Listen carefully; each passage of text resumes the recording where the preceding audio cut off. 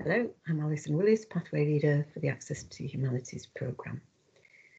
This video is to welcome you to the college and the course and hopefully to put your mind at rest about some of the concerns you may have about starting college at this point. We will develop your academic writing skills, your seminar presentations, referencing, research and work with you on your UCAS application this may sound terrifying to some of you at this stage, and don't worry, by the time you go to university, you'll be very confident in all these areas.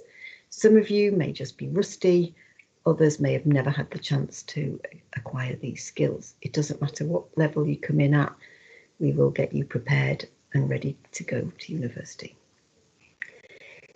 Not only will you find the staff very supportive, but every year without fail, it's wonderful to watch the group bond and gel and create this supportive atmosphere where you can flourish and develop your confidence as well as your skills. It is a pleasure for me to see that every year. It is wonderful. There will be some tough times and you will help each other get through them.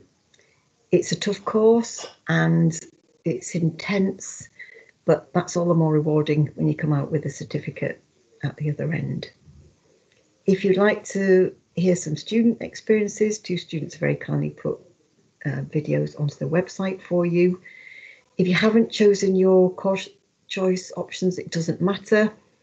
Uh, Dan Nelson has put a video on looking at criminology and sociology, and I've put one as an introduction to English literature. I can't wait to meet you in September where you can talk to us about um, the course in more detail. I will endeavour to answer any emails if you want to contact the college in the meantime. I look forward to meeting you in September and take care. And I shall see you then. Bye bye.